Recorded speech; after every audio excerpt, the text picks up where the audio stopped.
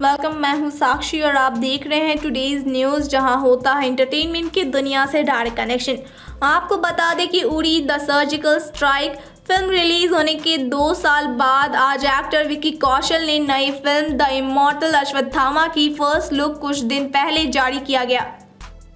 उन्होंने इंस्टाग्राम पर फ़िल्म के दो पोस्टर पोस्ट किए हैं। पोस्ट करते हुए उन्होंने कहा था कि अभिभूत हूँ। उड़ी द सर्जिकल स्ट्राइक की दूसरी एनिवर्सरी पर टीम आप सभी से द इमोटल अश्वत्थामा का एक लुक शेयर कर रही है। आदित्य धर की ड्रीम टीम के साथ इस फ़िल्म की यात्रा के लिए इंतज़ार नहीं किया जा सकता।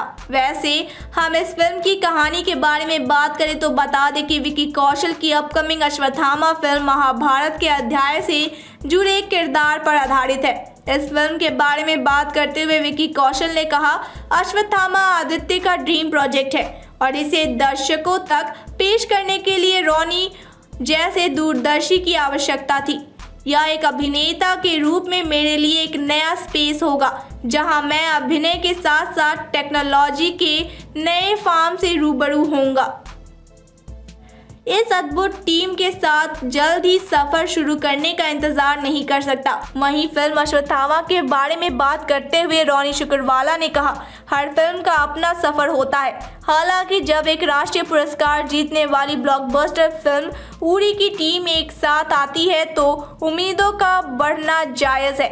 इसमें स्टोरी को बड़े पैमाने पर बताया जाएगा। पात्रों में गहराई है और विजुअल इफ़ेक्ट की भरमार होगी। भाषा इस फ़िल्म के लिए कोई बाधा नहीं है। हम इसी साल ही इसकी शूटिंग शुरू करेंगे। मैं स्क्रीन पर आदित्य की दृष्टि का अनुवाद देखने के लिए इंतज़ार नहीं कर सकता। खैर, जो भी हो, इस फ़िल्म का पोस्टर ज़बरदस्त लग रहा है और लोग खूब पसंद कर रहे हैं। Thank you so much keep watching for more entertainment news and update